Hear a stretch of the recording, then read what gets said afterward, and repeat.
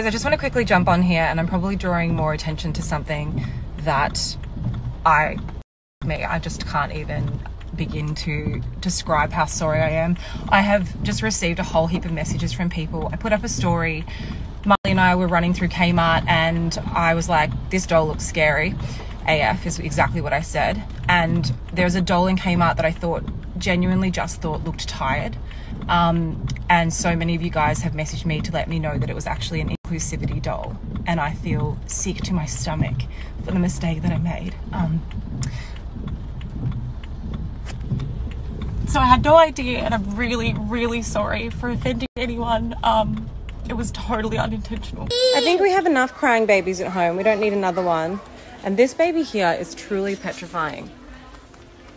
That is a scary AF doll. I just want to quickly also say thank you to every single person who messaged me. Um, you guys are the freaking best. Not one person sent me, not one, sent me an abusive message.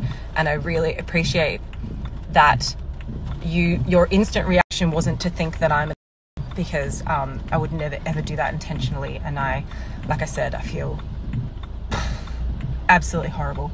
So thanks everyone.